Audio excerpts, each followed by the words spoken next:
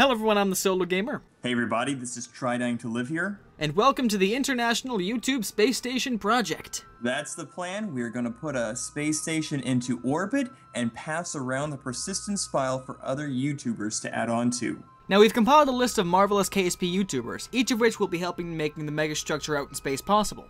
This will prove to be an exciting experiment as each community member builds and expands the story in their own unique style. Now we're going to put a few rules up uh, just to help the progression of the design move along. First off, each YouTuber who receives the file and is going to add on to the ship must also record uh, their uh, their progress and uh, what they do. The second is you got 48 hours once you receive the file to add your part and return the file, otherwise you lose your turn. Vanilla parts only. Each part must have its own purpose. So for example, it could be something like you need a return safety vessel, or maybe you want to add a bunch of lights and put a giant spotlight on Kerbal. It could be silly, or it could be serious. It doesn't matter, but it must have a purpose. You can't remove or rearrange the station in any way. Anything that's on there stays on there. You must add at least one docking port.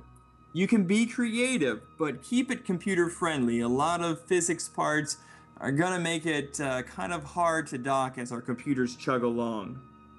Only one module per turn, and finally, make sure you add not only the name of your module, but also the name uh, of your YouTube handle.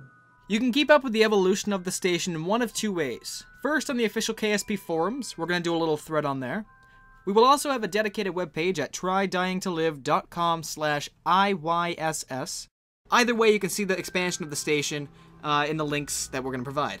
We look forward to seeing what the various contributors will do. Keep yourself up with the station as it changes. Thank you all for watching and stay tuned for more. And I'll see you next time.